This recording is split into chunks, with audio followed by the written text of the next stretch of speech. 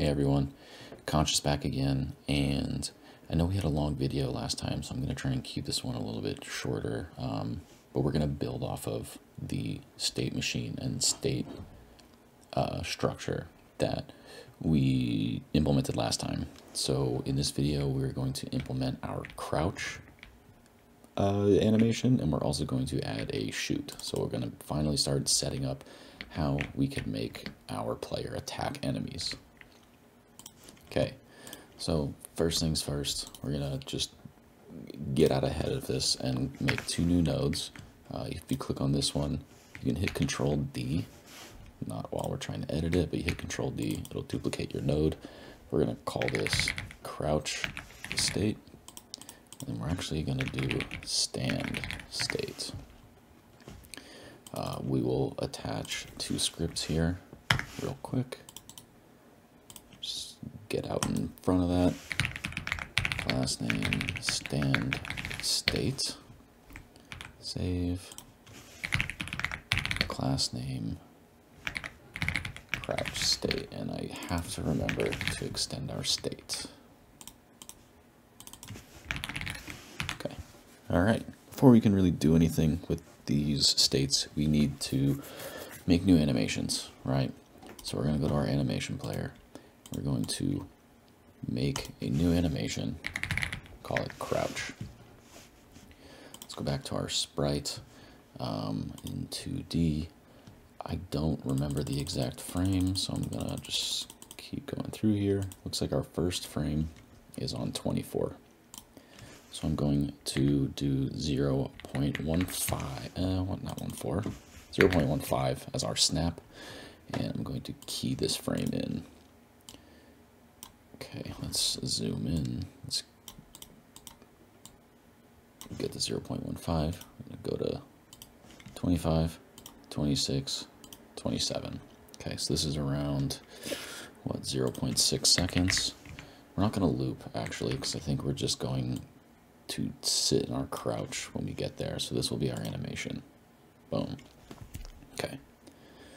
We also want the inverse of this for whenever we want to stand. I don't just want to jolt right back up into the idle state um, afterwards. It, you know, we'll be able to, I guess. Um, we'll kind of configure that in the states, but um, let's duplicate this.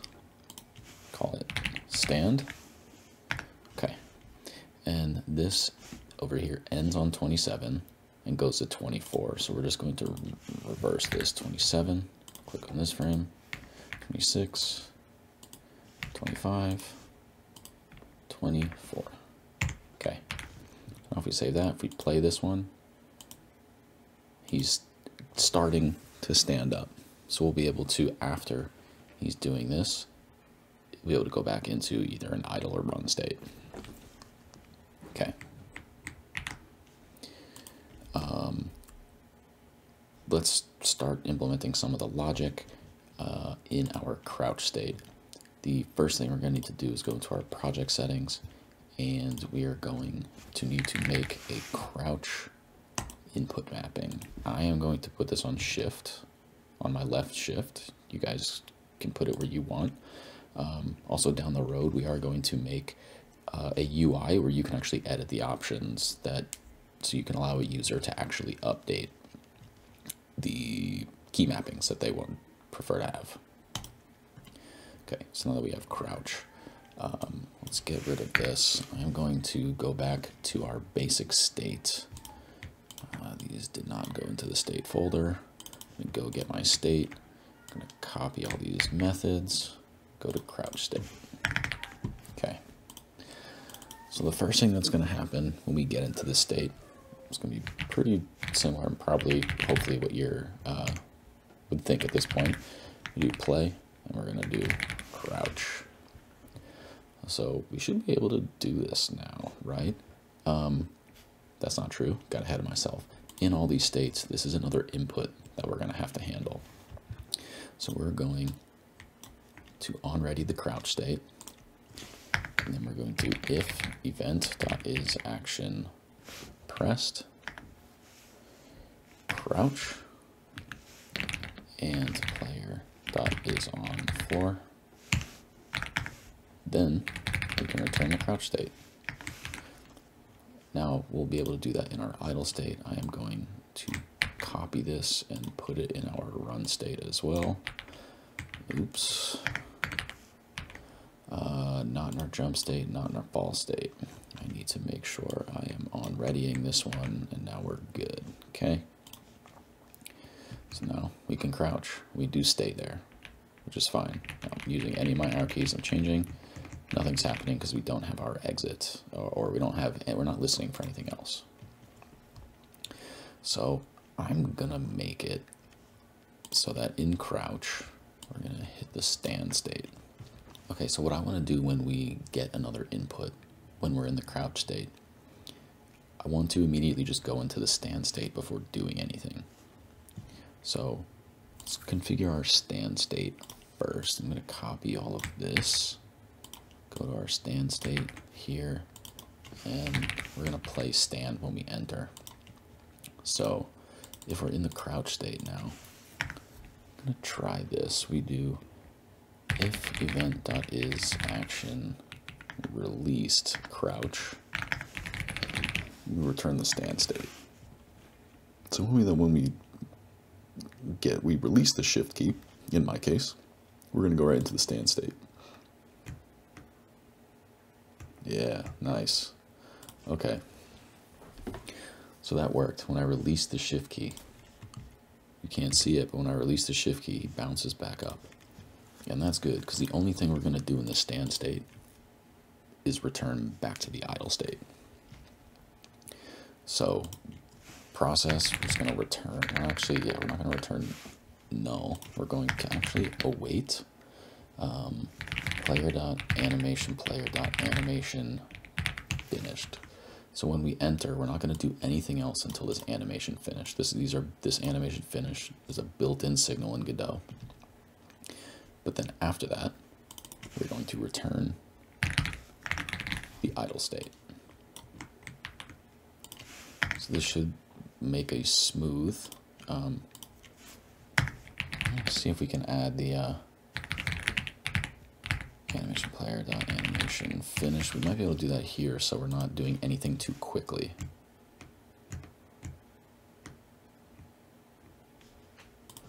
I don't think that's working the way that I want.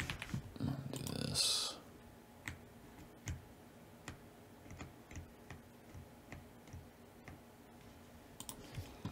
Doesn't seem like it's actually waiting for this to be finished.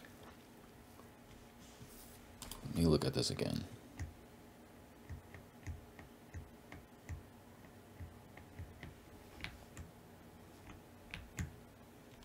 Ah, that's actually a good call out while we're debugging this. I don't want to be able to move while we're crouching. So here to velocity.x equals 0. And then in our crouch state, we're also going to do that. And it's a good reminder to get our players velocity.x. So now when I hit that, I can't move, but I can like immediately start running afterwards. Cool. Okay. I think that's good for now. Let's move on to creating our attack state. This is going to be a little bit more exciting, I think. I make a attack state node. Not add a child node. We want to add a script to it. I need to make sure I'm adding it into the state folder now. Class name attack state. Okay, let me get our base stuff here, copy this in here, and we're gonna need to handle some input. We don't have anything mapped to an attack input yet, so we have to go back into our project settings, and we're going to add an attack input to me. I'm using the left mouse click, just like that the best. Map it to whatever you'd like, but just make sure that it's mapped. Okay, we also need to make an animation for this. So I'm gonna go to our run animation, I'm going to duplicate this, call it attack. Um, I'm going to get rid of all of, yeah, let's just get rid of this whole thing.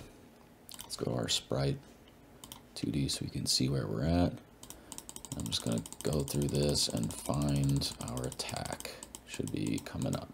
Yeah, boom. Nice. Okay. So we're going to add that. I'm going to snap at 0.1. I kind of do want this to be quick. Uh, we're going to cap this at 0.3. We're also not going to loop. Yeah, I like that. Gives a little kickback after he shoots. I like that. Okay. So, we have the attack animation when we're in the idle state. And we're going to do this if we're on the floor. We're going to do this, call it attack, and the attack state. So I hope you guys are seeing why we're setting this up and why this makes adding new states pretty easy. You just have to account for,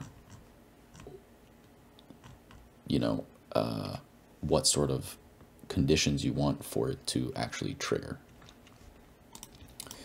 Um, okay. Why is this giving me an issue now? Cannot return the value type of attacks. Oh.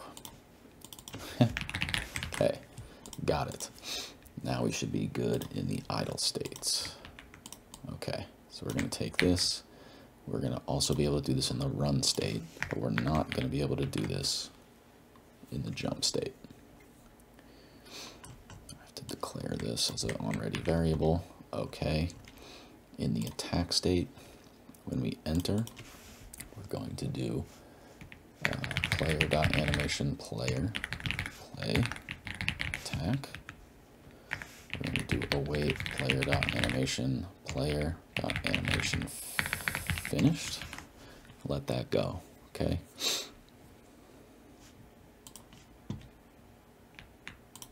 Cool. Now we got there. Um, after that, we do want to go back into its uh, previous state or just a different state. I don't think we're going to have running attacks right now. So basically it should always, whenever it's done, we should be returning back to the idle state. Okay, so the await we are going to keep, but there's some other things that we need to do um, to make this properly function how I want it to go. So I also don't want the player to be moving when he's shooting, so let's just set the velocity to zero on the player. Um, and then on our process function, we're going to do some additional checking. So we're going to check if the animation player is playing. So if it's playing an animation, just return. We don't do anything. Else, if player dot direction does not equal zero, then we're going to return the run state. I should have that here. Run state. Yikes. I'm typing right now. It's the run state. Um, else return idle state. We can also do if not player dot is on floor will return fall state. Need to return it, not just put it there. Okay. Great. Um, then after that, if we're still in the attack state, um, I think we still want to be able to let the player to jump. So we're going to go back into attack. So we're in attack. We want to be able to allow crouch and jump. So we're going to take these two, go back into our attack state, do that. We need jump and crouch in here. So we need jump, crouch, boom. Okay. Fix the event. All right, so I think that should be working now. Yeah, there we go. And if we are running and click, the animation plays. can jump, boom, we continue running just like that. Okay, I think that's it for now. The next video, we are actually going to make a bullet that will come out of the player's gun when we're shooting, because right now it's cool that we can raise our gun, but we're not doing anything with it. So in the next video, we'll cover that.